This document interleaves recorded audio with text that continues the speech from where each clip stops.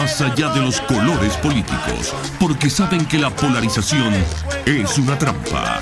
El radar de los barrios, con las verdades que el gobierno evade y que otros ignoran. Comienza el radar de los barrios con Jesús Torrealba. Pongamos fin a los atropellos, denunciando las mentiras por la calle del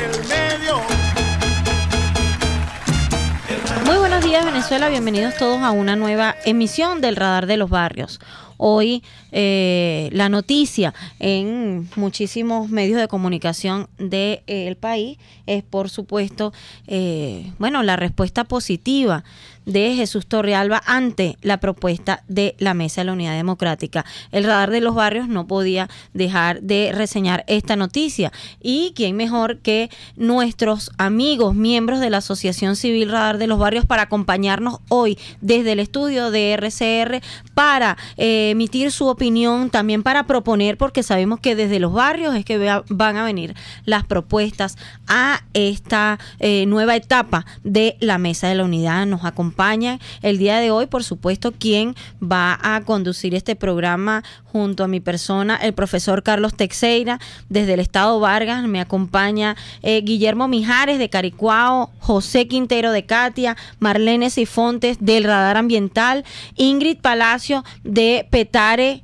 eh, Zaida Castillo de Vista Alegre y Thais Lezama de Turgua. Bastante. Eh, muy buenos días, profesor. Bienvenido a este su espacio. Buenos días, Belín, y saludo a todos los escuchas del Radar de los Barrios.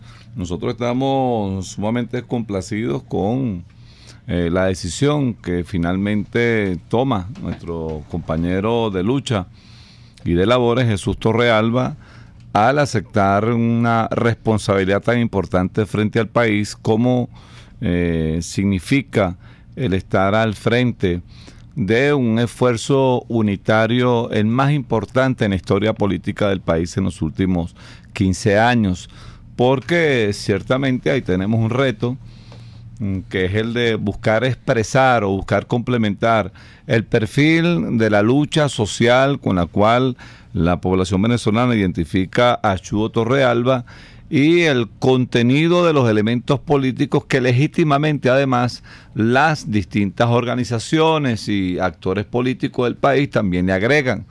decimos que es un gran reto porque en esta etapa eh, tan de mucha angustia como la que atraviesa Venezuela, eh, el concurso de muchos es indispensable para salir de esta crisis y cambiar el rumbo que lleva el país. Y por supuesto, nosotros hemos escuchado muchas veces expresiones de Jesús Torrealba como aquella de que solo el pueblo salva al pueblo, pero el pueblo pare los líderes. El pueblo se da su dirección y cuando se da su dirección es porque la reconoce. Y hoy reconocen en Chugo Torrealba un liderazgo importante surgido de las luchas sociales para colocarlo al servicio de toda Venezuela con las ideas de cambio que hoy pululan. Bueno, tenemos distintos representantes populares de nuestra zona. Vamos a ver si ¿Cómo hacemos? ¿De este a oeste? yo, creo que lo vamos a cruzar más bien, sobre todo por la variedad de mm, y expresiones populares que nos acompañan y otros que están mm, al pie del cañón en sus respectivos barrios, haciendo lo que cotidianamente hacen los luchadores sociales con compromiso, con sensibilidad social, que es el acompañamiento, el acompañamiento en sus respectivas comunidades. Y otros pues haciendo lo que son las eh, y otros en el quehacer sindical que ayer tuvimos la dicha también de ser acompañados por el señor Zambrano, por el señor Igor Lira y Marlene, que está aquí con nosotros también, que una ambientalista y luchadora, que también nos va a hablar, eh, Evelyn, que te propongo, comencemos con Marlene entonces. Así es, porque hoy es el espacio del radar ambiental y Marlene ha cedido ese espacio para los líderes comunitarios que hoy quieren expresar su opinión con respecto a esta decisión. Bienvenida, Marlene. Bueno, muy buenos días. Eh, saludos a todos los que nos escuchan. Y ciertamente, como dice nuestro amigo Teixeira, es un compromiso que ha asumido Chuo eh, por su carisma, por su trabajo, por su responsabilidad, por, por eh, escuchar y, y ser el eco de esas personas que a veces no, no son escuchadas. Y creo que la designación de, de es algo positivo porque primero se está diciendo que hay que abrirles los espacios a los sectores populares, a los sectores populares, bien sea a más de casa, dirigentes vecinales, a la clase media, a los sindicalistas, que nosotros particularmente en nuestra área sindical hemos visto en el espacio del radar de los barrios una ventana que ha permitido dar a conocer la problemática sindical y en este caso que me corresponde la problemática ambiental. En un momento donde el país está colapsado, no solo por las enfermedades, sino por una desesperanza y una falta de movilidad ante la grave crisis, la incompetencia del gobierno que no atiende los verdaderos problemas de, los venezolanos. Y entonces se necesita de verdad relanzar eh, a la gente para que de verdad ese compromiso como ciudadano, como venezolano, es una tarea de todos, que tenemos que salir a defender y a demandar de los gobernantes,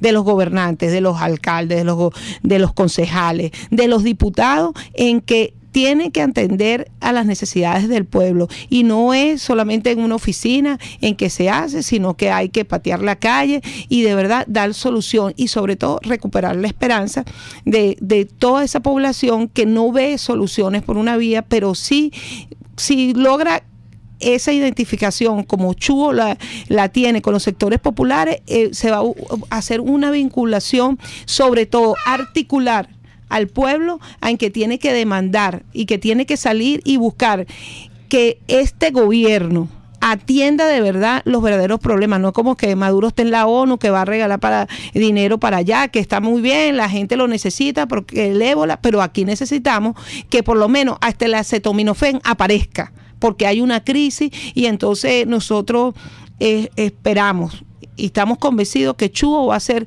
todo lo humanamente posible para rescatar esa esperanza y poner al pueblo a que demande y que salga a la calle, que deje la apatía, que solo con el compromiso ciudadano, porque los políticos son iguales en todas las partes del mundo, los ciudadanos son los que hacen la diferencia y nosotros tenemos que salir a la calle en unidad, con esperanza y a captar a esa gente descontenta, chavista, que también está en la calle protestando y que vea de verdad en los líderes una propuesta cierta para un mejor futuro.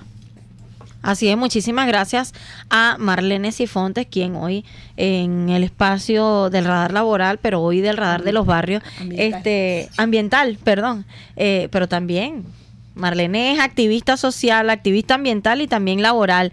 Bueno, yo quisiera que siguiéramos en el orden de las damas, no para menospreciar a los caballeros acá presentes, pero escuchemos a Ingrid Palacio, que también nos acompaña la mañana de hoy eh, acá en el estudio y que ustedes, por supuesto, han escuchado a través de nuestro programa haciendo denuncias, haciendo propuestas, pero tu opinión el día de hoy, Ingrid, como activista social, comunitaria, eh, de larga data en tu trabajo dentro de los sectores populares, y ahora eh, como miembro del radar de los barrios, tu opinión acerca de esta nueva responsabilidad que adquiere Chubo Torrealba.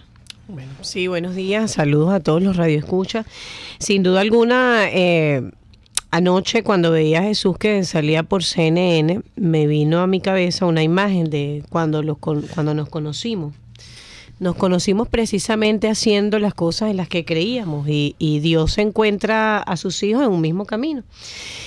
Recuerdo que íbamos cerro arriba a, hacer las tomas de lo que fue el complejo socialista, la gran, la, gran estafa, el gran desastre en que se convirtió el complejo socialista Argelia en el morro de Petare, en el cual nada más y nada menos fue engañado el presidente Chávez en vida.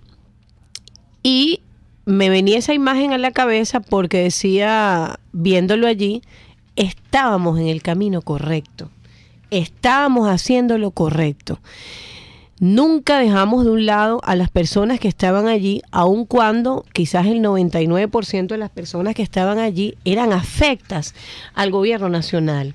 Nosotros hicimos lo que teníamos que hacer, llevar al frente la denuncia, ser eh, parte de su vocería, acompañarlos en su lucha y los resultados están a la par. Hoy allí, sin duda alguna, puede entrar no solamente el radar de los barrios, sino toda la prensa del país y puede ver en sus propios este, lentes qué es lo que está pasando.